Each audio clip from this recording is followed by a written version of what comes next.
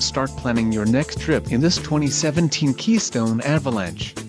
If you are looking for a fifth-wheel RV with a perfect blend of convenience, comfort and enjoyment, look no further. This unit is great for vacationing, adventuring or just relaxing.